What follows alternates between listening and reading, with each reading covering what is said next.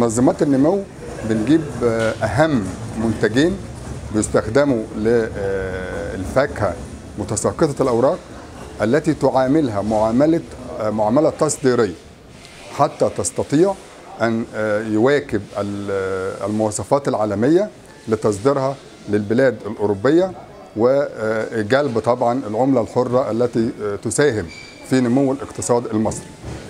أول مادة في منظمات النمو مادة اسمها الدارج دورميكس اسمه التجاري سينا ميكس.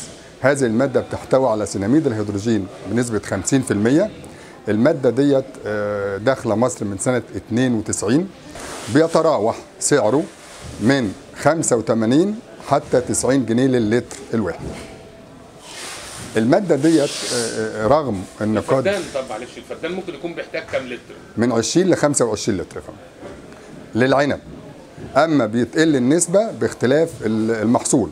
اولا العنب من 3 ل 5% الكمثرى 1% الخوخ نص في المية المشمش والبرقوق في حدود من نص في المية.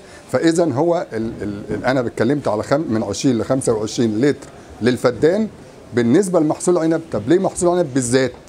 لأن العنب هو أكبر كمية صالحة للتصدير في مصر وأكبر كمية بتستهلك هذه المادة هي العنب.